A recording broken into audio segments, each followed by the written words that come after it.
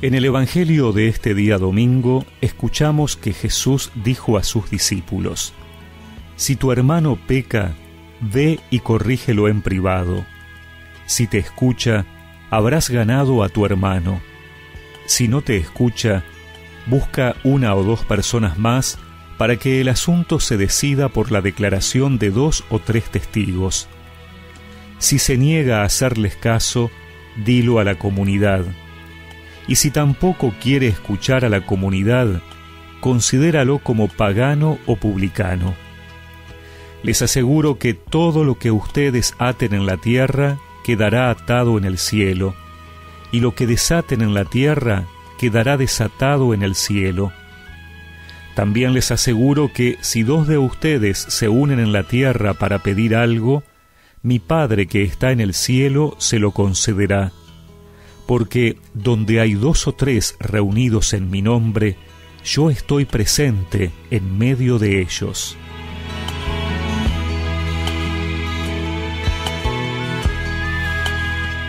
Las enseñanzas de Jesús sobre la corrección fraterna y la oración nos hablan de una realidad de nuestra vida de fe.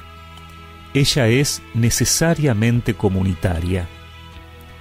Nuestra fe no es solo nuestra relación con Dios, la oración personal o nuestro comportamiento. Es también nuestra relación con los hermanos, especialmente quienes comparten la comunidad. No nos podemos desentender de ellos como diciendo cada uno que se haga responsable y si se equivoca o toma un mal camino no es nuestro problema. No.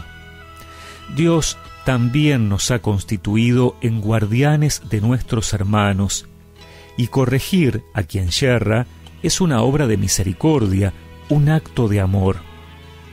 Para ello, Jesús nos enseña que debemos ir gradualmente, desde el diálogo personal a la intervención de la comunidad. Es que, en palabras de San Pablo, cuando un miembro sufre, todos sufren y que alguien tome un camino equivocado debería ser un motivo de preocupación para toda la comunidad.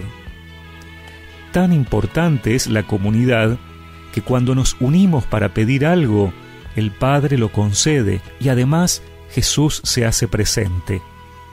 Por eso este Evangelio me invita a plantearme cuán importante es para mí vivir la fe en comunidad.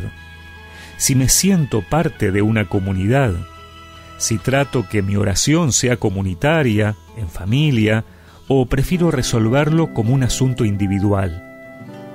En este tiempo, recordemos que para Dios no va la frase sálvese quien pueda, sino más bien que nos salvamos entre todos. Donde dos o tres reunidos en mi nombre estén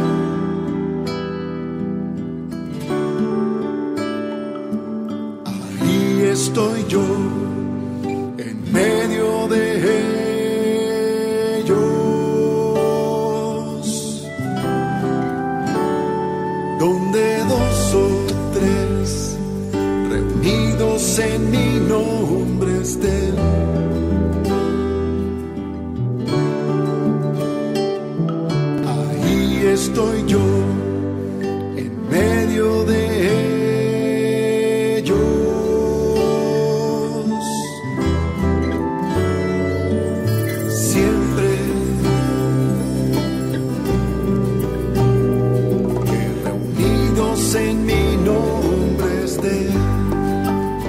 y recemos juntos esta oración.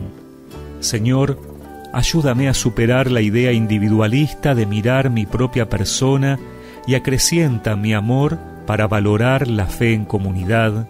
Amén. Y que la bendición de Dios Todopoderoso, del Padre, del Hijo y del Espíritu Santo los acompañe siempre.